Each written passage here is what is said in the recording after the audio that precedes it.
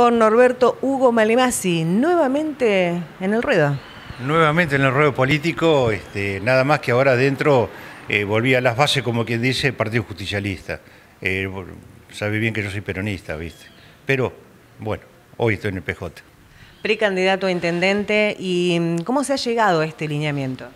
Eh, si viene dentro del Partido Justicialista hoy hay otro precandidato, por inquietud de varios compañeros del Consejo del Partido, más algunas charlas que hicieron con algunos sindicatos, más alguna gente de los barrios y afiliados, eh, me propusieron esto que por consenso dijeron que por ahí se podría llegar a un buen consenso, un arreglo con las demás líneas, ¿viste?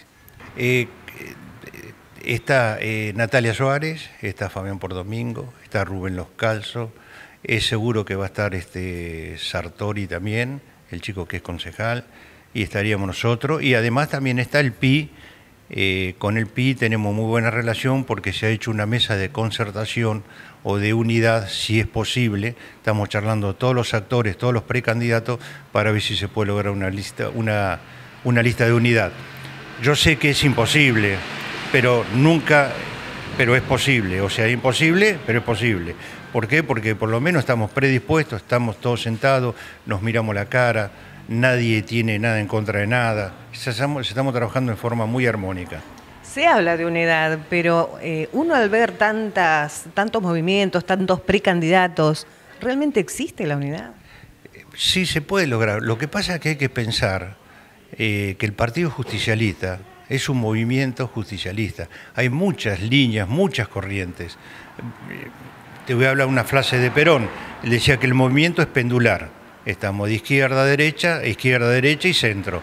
O sea, hay de todos los pensamientos. Por ese motivo hay varias ramas del peronismo. Pero por ahí se puede lograr. Y si no se puede lograr la unidad, no hay ningún problema, pues se quedaron las pasos. Iremos a competir en las pasos y de ahí el que pierde acompaña. Que, en eso no hay ningún problema, se puede hacer. Lo que pasa es que hay otros partidos, como digitan al candidato, porque no son partidos, son eh, eh, es marketing o como yo digo, este, son productos de góndola, por ejemplo. No es que lo voy a criticar, pero voy a decir la verdad. Cambiemos, es un producto de góndola. El producto se llama Macri. Y vos, después que haces, probás el producto. Y bueno, así la, gente probó, así nos va, ¿viste? Pero bueno, ¿qué va a hacer? Pero, y después digitan. Eso nos da. Por ejemplo, nosotros en el Partido Justicialista tenemos un consejo de partido. Yo te pregunto, ¿el, Consejo del Cambiemos a nivel provincial, nacional y local existe? No, no existe. Es digitar nada más, no hay un consejo. Entonces, ¿qué es lo que ocurre? Son poquitos, es el tema. Después la gente, bueno, prueba el producto o no prueba el producto. Por ese motivo nosotros somos, tanta gente, tanta diversidad de opiniones hay, pues es un movimiento.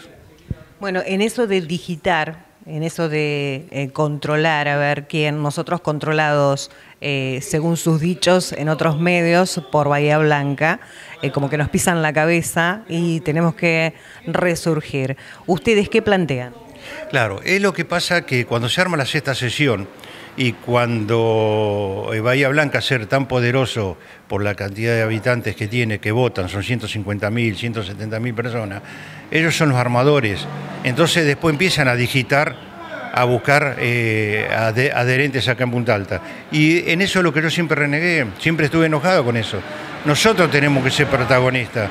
Nosotros el 12 de mayo, hay muchos que no lo entendieron, gente que ha trabajado mucho para la autonomía, 12 de mayo de 1945, hoy la estamos vendiendo, estamos regalando la autonomía. ¿Por qué? Porque nos independizamos de, Bahía Blanca, una cosa lógica, y hagamos las cosas nosotros.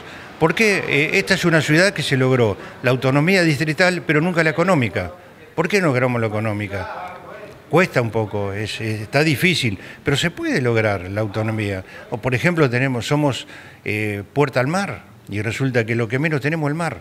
Solo este municipio vive de las tasas, nada más. El único, el único recurso. Necesitamos industrias, necesitamos un parque industrial, necesitamos muchas cosas. Y se puede hacer, con buena predisposición se puede hacer. Y nosotros sabemos hacerlo. Te digo por qué sabemos. Porque nosotros arrancamos de abajo. El equipo que me acompaña no tiene necesidad ninguna económica.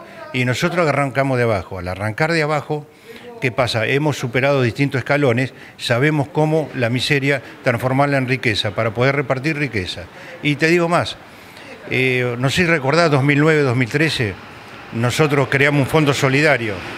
Ese fondo solidario no, no prendió y este sé que el Cambiemos, por disposición de varios concejales también, lo mandaron a archivo. Nosotros lo vamos a reflotar y lo vamos a reflotar con muchas ganas. Y te digo, te voy a explicar por qué. Porque hoy en día, si ese fondo no existiría, estaríamos en 500 mil pesos por mes recaudando. Y en Punta Alta se podría hacer muchas cosas y ayudar mucha gente. Hasta podríamos evitar muertes también. Con eso te digo todo. Esto es a nivel local. A nivel nación, ¿usted cree que el país está en terapia intensiva? Sí, sí, realmente sí, porque mira, este gobierno, cambiemos, que vino con la esperanza de varios de cambiar, eh, solo cambió para mal. ¿Por qué? Endeudó la nación el presidente. La provincia se endeudó y los municipios están endeudados. O sea, no, o sea, cuando yo endeudar, todo eso a la gente no endeudaron. Por ejemplo, la nación pidió un dineral, la provincia se la repartió para hacer cosas y la provincia se la dio a los municipios. El municipio, ¿qué hace? Eh, te soy franco, está faltando pero con plata prestada. Y ahora se las quiere cobrar al contribuyente de donde nunca lo, nunca lo, consultó. O sea, nos están empobreciendo. Está bien hay que hacer asfalto, pero se hace de otra forma. Hay otra forma, yo la conozco cómo hacerla. No podemos. Después también escuché decir que se asfaltaron 150 cuadras. Si vos te pones a razonar 150 cuadras, no sé si tiene punta alta. Te voy a explicar por qué. Si vos mirás desde Colón al 1000, ahí tenés 10 cuadras. Y desde Villanueva al 1000, pues yendo, por ejemplo, 11 de septiembre, por ahí más o menos al 1000, ahí tenés 100 cuadras. Que si, si vos faltas 100 cuadras, te faltan 50, 5 cuadras más cada uno. No sé si me va a entender la gente lo que digo, pero que saque la cuenta. 150 cuadras, imposible. Después se dijo que se hizo 15 kilómetros de cloaca, escuché. ¿Sabes lo que son 15 kilómetros de cloaca? Estamos si son 15 kilómetros, estamos de aquí pasando Villaria. Y yo no veo 15 kilómetros cloaca. Nueva Blanca no tiene cloaca. Eh, Barrio Laura no tiene cloaca. Eh, eh, Villaria, Villalmar. Por eso te digo, no sé, lo que pasa es que están copiando el, texto de arriba, pobreza cero, ¿me entendés? Entonces todos dicen, esto, hicimos esto. Porque Ramaná, sinceramente, son todos mentirosos. Y lo puedo decir con conocimiento de causa mienten, mienten, mienten, que algo queda. Y la gente que por ahí eh, vota y, no piensa, no saca los cálculos, se va a dar cuenta que están mintiendo permanentemente. Pero bueno, ¿qué va a hacer? Eh, la gente va a entender, esto no es cambiemos, cambiemos para mal. Después te voy a decir otra más. comercialmente, vos la primero, lo que te cuesta es la inversión.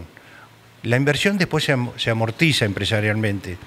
Y cuando vos la amortizaste, después lo demás, no, o sea, se puede, tenés que tener un cálculo de gastos de mantenimiento. Un ejemplo quiero llegar a esto. El agua, nuestros padres, nuestros abuelos pagaron el chocón, perdón, el chocón, paso piedra. Hoy el agua es gratis, este país abunda el agua y estamos pagando 600 pesos de agua por mes. En algunos casos. En, algunos un poquito más, sí, un poquito menos, un poquito más. Es una locura eso, ¿cómo pagar el agua? Ya está la inversión. Solo, solo hay que hacer mantenimientos, que es es lo mínimo, y pagarles empleados. O sea, date cuenta que en un país donde abunda, nos quieren manejar como si fuera un país de Arabia, donde un desierto. Esto no es un desierto. Acá la naturaleza nos dio, que nos dotó Dios. Somos riquísimos. Acá, sinceramente, podemos vivir todos gratis si sabemos administrar y no mentir a la gente. Te soy franco, te digo la pura verdad.